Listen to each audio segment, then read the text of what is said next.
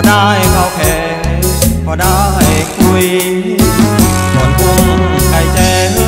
สาวไม่แลอกหักอุ้มไก่แจ้ด้วยใจรักเลยต้องอกหักเจ็บนักเจ็บลุยพาแจ้แข่งขันไปประชันชนะ